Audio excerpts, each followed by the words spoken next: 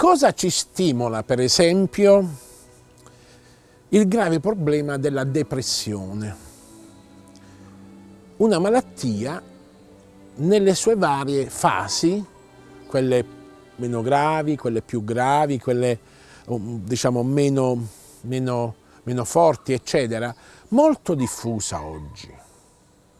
La depressione, a mio modo di vedere, è una malattia legata al benessere, a quel benessere senza anima, perché vedete, né il cristianesimo né Gesù ci hanno mai detto che il benessere è qualcosa di negativo, no, il benessere è un, un, dire, una giusta ambizione dell'uomo, quando però il benessere non diventa la tua anima, ma quando il benessere è un'anima, nel senso che il mio stare bene aiuta a stare bene gli altri, il mio benessere io lo condivido con gli altri, allora il benessere è un fatto positivo. Ma oggi noi viviamo un benessere senza anima, egoistico, un benessere che ci porta ad accumulare, ad accumulare soltanto.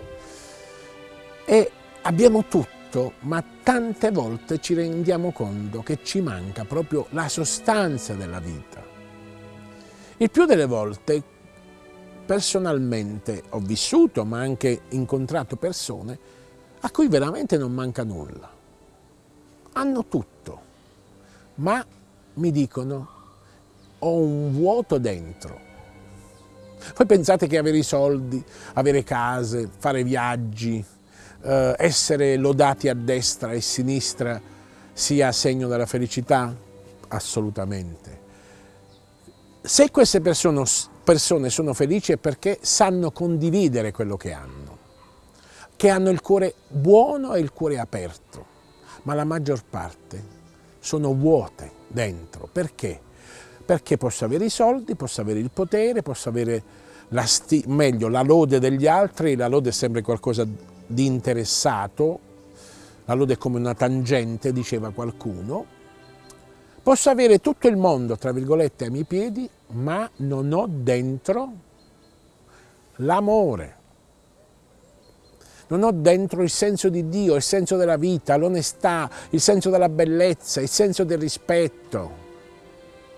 Se non ho dentro questo amore, io avrò tutto, ma sarò sempre vuoto e il vuoto mi porta anche, soprattutto, a non avere coraggio.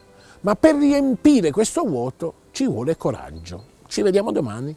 Padre Pio TV, dritto al cuore. Ciao a tutti.